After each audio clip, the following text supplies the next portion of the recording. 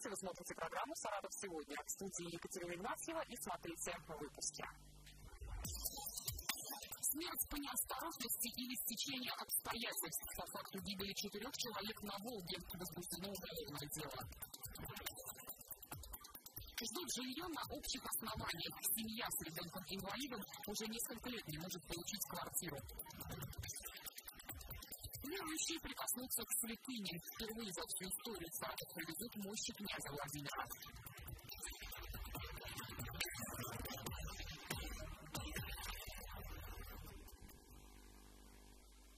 Следователи Энгельса проверяют информацию о возможном похищении ребенка. Об инциденте в полицию сообщили местные жители. По их рассказам, сегодня, примерно в 3 часа дня, в районе школы номер один неизвестные силы затолкали мальчика в черную иномарку и скрылись в неизвестном направлении. Остановить возможное похищение попытался 13-летний подросток. Однако ему это не удалось, поскольку защита детей от преступных посягательств является одним из приоритетных направлений деятельности Следственного комитета Российской Федерации. Сообщение взято на особый контроль и по указанию руководителя Следственного управления следователи уже приступили к проверке сообщения. В город Энгельс направлены наиболее опытные следователи-криминалисты аппарата Следственного управления. Сегодня днем уровень полиции обратился к 30-летний житель города Энгельса, который стал свидетелем некого происшествия. С его слов, я сейчас получил объяснение в присутствии психолога, в присутствии педагога, с его слов следует, что он видел, как мужчина, держа ребенка за руку, вел его в сторону автомобиля. 13-летний мальчик показался его поведение несколько неестественным, довольно активным поведением, что он вел в сторону автомобиля. И он стал преследовать этого гражданина, крича «Стой, стой!». Но в ответ на это гражданин взял ребенка на руки, толкнул подростка, сказал «Не лезь свое дело», сел в автомобиль, с подростком и уехал. Подросток подозревает то, что помогло иметь место преступления. В настоящее время, естественно, начали проверку данного сообщения. По словам руководителя следственного отдела, мальчика-свидетеля сейчас допрашивают. В то же время сообщений о похищении от родственников не поступало, и, возможно, никакого криминального подтекста в инциденте нет. До властей так и не достучались. Герой нашего следующего репортажа живет с довольно редким заболеванием – мышечной дистрофией Дюшена. Это когда мышцы практически не способны обеспечивать нормальные движения. С таким диагнозом мальчику поставили инвалидность, однако на улучшении жилищных условий, в чем так нуждается семья, это никак не отразилось. На что ссылаются чиновники и почему уже несколько лет люди вынуждены ютиться на 12 квадратных метрах. Смотрите далее. Диагноз мышечной дистрофии Дюшена Даниле поставили несколько лет назад. Причем его мама Екатерина забила тревогу раньше. Видела, что ребенок двигается хуже, чем остальные дети, но саратовские врачи отвечали «здоров». Лишь в Москве провели ряд исследований и поставили мальчику страшный диагноз. Поняла, что сюда кололи иголка какой-то вкололи, и там вот э, какие-то волны все это делали. И женщина нам там сказала, что все здесь подтвердилось, что у вашего ребенка серьезное заболевание, и как вам надо оформлять инвалидность. Для нас, то есть для меня вообще был шок, что действительно все пока все, все подтвердилось, что вот у нас ножки больные, тех пор болезнь только прогрессирует. Сегодня Данила не может самостоятельно ходить, но мальчик никогда не отчаивался. И часто именно он утешает родителей. Школу Данила не посещает, но с удовольствием учится. На дом приходит учительница. Любимый предмет мальчика – математика. А в свободное время общается с друзьями в социальных сетях. Мои мечты – ходить, еще чтобы у меня комната была своя, квартира у нас была, там братья ко мне приходили. И третья моя мечта, чтобы мне родители купили PlayStation 4. Своего ребенка Екатерина даже искупаться самостоятельно не может. Чтобы занести мальчика в ванну, требуется помощь мужа. Купать приходится быстро, иначе у ребенка синеют ноги. Нас общая ванна, у нас сосед дома, который ходит на улицу. И то, что у нас много очень соседей, мой ребенок муж так устанавливает, мы стелим пеленочку и сюда. Пеленку стелим, то, чтобы ножка не, не касаться ванны. И муж его двумя руками держит, и так мы его купаем. Весь день Данила проводит в одном месте, на этом диване, а вместе с ним и мама. В 12 квадратных метрах коммуналке сложно найти свободное пространство. Екатерина давно пытается достучаться до властей. Обращались в сотни инстанций, чтобы добиться улучшения жилищных условий. Вот только ответы чиновников не внушают оптимизма. На учет, как семья с ребенком-инвалидом должны были вставать до 2005 года. А сейчас отвечают, квартиры не положено. Ждать жилье предлагают на общих основаниях. Нужно было до 1 января 2005 года стать на улучшение жилья с такой проблемой, хотя наш ребенок родился, что даже не было на, на свете. А потом то, что кто встал после 1 января, тогда вот из муниципального жилищного фонда.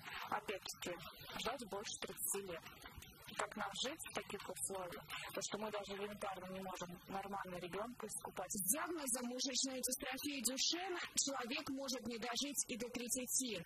Жилью Даниле нужно сейчас, но в Министерстве строительства говорят, сегодня лазеек в законодательстве нет, его нужно менять на федеральном уровне. У всех граждан Федерации права это на лучшем на общих основаниях.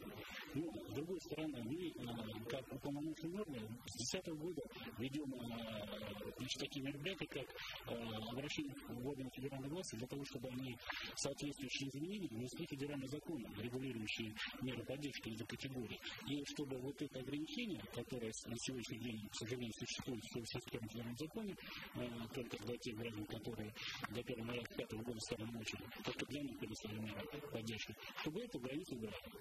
Перед сном Данила всегда молится за себя, за родителей и обязательно за любимого питомца Чарли. И хотя с таким диагнозом сложно смотреть в будущее, Данила верит, его молитвы обязательно услышат. И когда-нибудь он сам сможет зайти в новую квартиру. Анна Ковалева, Евгений Шейченко, Саратов, 24. По факту гибели четырех человек на Волге возбуждено уголовное дело. Напомню, трагедия произошла вечером 2 августа недалеко от Войска. В акватории Волги примерно в 30 метрах от судового входа столкнулись две моторные лодки. Одна из них отечественного производства, вторая импортного. В маломерных судах находились 8 человек. Трое мужчин в возрасте от 22 до 54 лет. Все пассажиры «Прогресса» погибли. Также утонул 25-летний пассажир другого судна. Остальные двое мужчин и две женщины женщины были госпитализированы с различными травмами. Сейчас специалисты проводят судебно-медицинские экспертизы, а также уже назначили технико-правовую проверку. Уголовное дело возбуждено по статье «Причинение смерти по неосторожности двум и более лицам». Едва не похоронил себя, уходя от погони. Водитель автомобиля Toyota проигнорировал требования сотрудников полиции остановиться. За ним была организована погоня, которая завершилась весьма неожиданно. На улице Черниговской водитель иномарки не заметил яму на проезжей части, в результате чего автомобиль буквально провалился в нее и опрокинулся на бок. В ходе проверки было установлено, что водитель находился в состоянии алкогольного опьянения. Ленинском районе злоумышленник не справился с управлением и допустил опрокидывание автомашины в яму, где проводились дорожные работы. В ходе проверки было установлено, что водитель иномарки находился в состоянии алкогольного опьянения.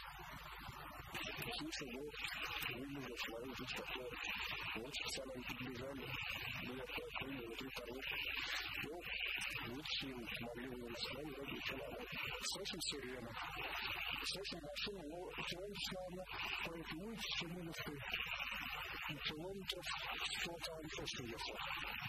А удар, выбегаем тут, лежу там, то есть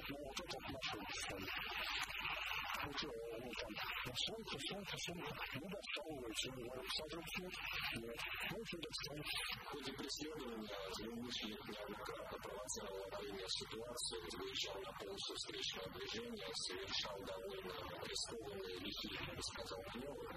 И то, что произошло, это как следствие его незаконопослушного поведения. То есть фактически подозреваемый наш сам вырыл себе и яму. Мировой бой своими силами. Артем Чеботарев решил организовать вечер бокса. Планируется, что мероприятие пройдет 13 сентября. Кульминацией должен стать восьмираундовый бой за звание чемпиона мира в весовой категории до 75 килограммов. За пояс и будет сражаться наш спортсмен. Соперником Артема станет украинец Дмитрий Митрофанов. Чеботарев уже приступил к тренировкам, которые проходят в марте. Подробнее Екатерина Заграничная. Пожалей, Артем, пожалей. Пробивай, смещайся вправо. Известный саратовский боксер Артем Чеботарев активно тренируется для чемпионата мира. Осталось меньше месяца. От предстоящего боя зависит шанс Чеботарева поехать на Олимпиаду в 2016. Отрабатывая так называемый бой с тенью, Артем представляет своего главного соперника, украинца Дмитрия Митрофанова. Руки покороче, мне придется быть сдерживать на дистанции, бить как-то снизу, там, и двигаться, закручивать, потому что он не по. Хотел, чтобы, знаете, получится выносливость, потому что соперник, он меньше ростом, я думаю, он будет делать ставку на выносливость. Он будет хотеть Артему выиграть за счет выносливости. Мы, соответственно, к этому готовимся. Предстоящий чемпионат мира пройдет в Саратове в Ледовом дворце спорта «Кристалл». Организация турнира стоит более 6 миллионов рублей, но из-за дефицита бюджета региональные власти финансирование чемпионата отказали. Если бой не состоится, Артема Чеботарева могут просто дисквалифицировать и лишиться олимпийской лицензии. В результате саратовский спортсмен принял решение все финансовые траты взять на себя, даже если деньги придется занять. Кроме того, он просит жителей области поддержать его, покупая билеты на боксерский поединок. Знаковое какое-то событие для нашей Саратовской области, мне кажется, которое должно что-то перевернуть в сердцах, наверное, в душах, именно к, то есть сплотить наших там, земляков, саратовцев, то есть этим каким-то там событиям. Я думаю, что, дай бог, мы это сделаем, получится, нас придут, поболеют. Тренируется Артем под Марксом. Руководство компании «Газпром Трансгаз Саратов» безвозмездно предоставило для тренировок санаторий «Нива». Здесь к услугам спортсмена спортплощадка, сауна, массажист.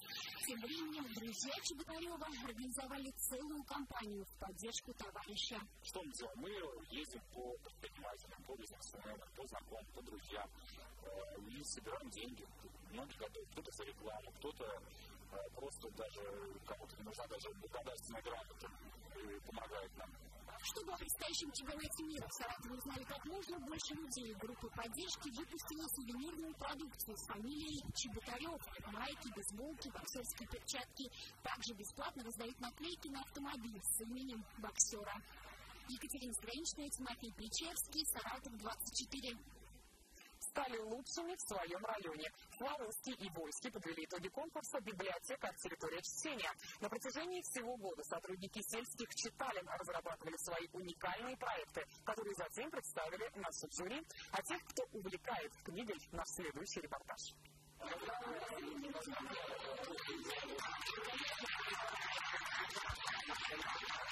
Получил заслуженную награду победителя. Надежда Деменчук работает в библиотеке сравнительно недолго, всего 6 лет.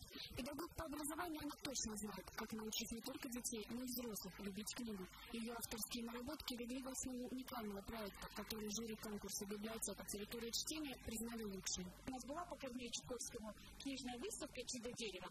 Это было дерево, вырезанное мной из картона, клена дуба рябиновой породы, в котором сверху располагались стихи, сказки Чуковского.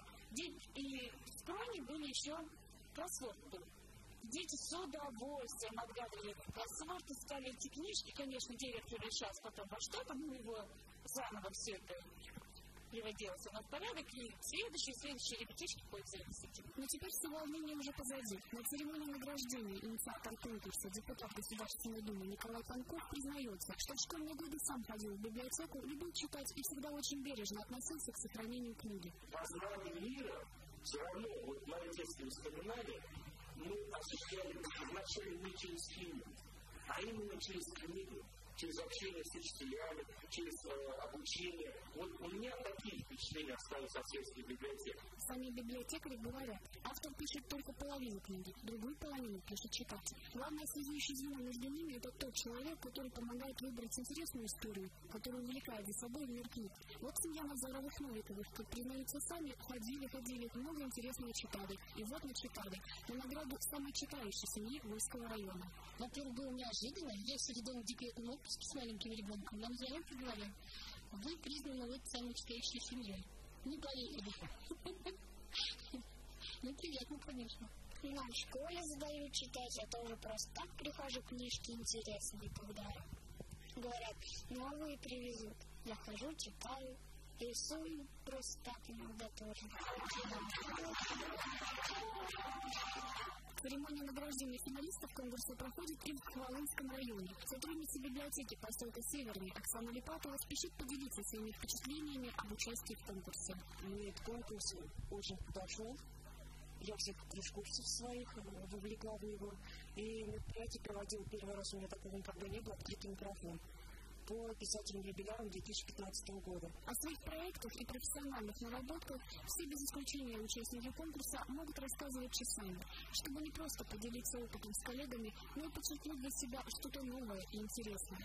В этом и заключается одна из целей творческого состязания. С другой стороны, работники читали сами в центре внимания, в том числе и представители власти. Вот сегодняшний конкурс как раз а, здесь в Хвалынске показал, что есть любовь к книге, любовь к знаниям, а те а, люди, которые работают а, в наших библиотеках, это а, большие таланты, это люди, которые а, самоотверженно работают, профессионалы. Их нужно всегда поддерживать. Доказали на практике. Конкурс помог творчески раскрыться и реализовать задуманное не только работникам библиотек, но и самим читателям. Такой активный интерес к литературе нужно только поддерживать. Тем более, что даже в самой маленькой сельской библиотеке всегда найдется интересная книга на полке.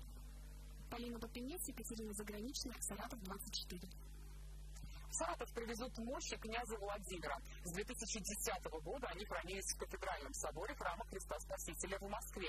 И решение о принесении мощей святого в города России связано в первую очередь с тысячелетием его представления. С именем князя связано значимое событие – крещение Руси в 1988 году. С 27 мая по 1 декабря прикоснуться к мощам святого равноапостольного смогут жители 45 городов России и 5 городов Белоруссии. Такое масштабное путешествие организовано впервые с момента обретения святыни, которая состоялась еще в 17 веке. В Саратов ковчег прибудет 1 сентября. Его разместят в храме в честь покрова Пресвятой Богородицы. Служители церкви приглашают всех желающих прикоснуться к мощам, совершить божественную литургию и молебен. Считается, что молитва этому святому исцеляет от болезней и помогает обрести душевное равновесие. Мощи князя Владимира пробудут в нашем городе до 4 сентября. Наши корреспонденты вышли на улицы Саратова и узнали у прохожих, какие новости сегодня они считают главными и почему. Но в наших новостях все время какие-нибудь катастрофы. Что не посмотришь, все катастрофы какие-нибудь. Такой не позитив. Мы не в курсе, но мы смотрели в Таиланде более теракты. Очень сожалеем, что погибли люди. Так же, как и у нас, так же и в других странах бывает. А, действия в Донецке, вот это меня волнует, потому что у меня родственники приехали оттуда, и мы все смотрим, что там происходит. Вот это вот действие. Если из известных новостей, то это, допустим, по источнику завода одного источника в топ не буду запомнить, это старая новость.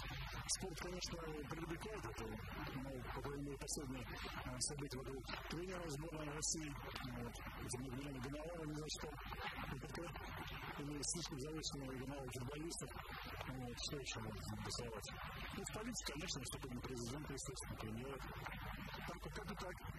Знаете, что сотрудничество с китайцами, да, да, а, открывают какое-то совместное предприятие, очень интересно. Что будет дальше, будем смотреть.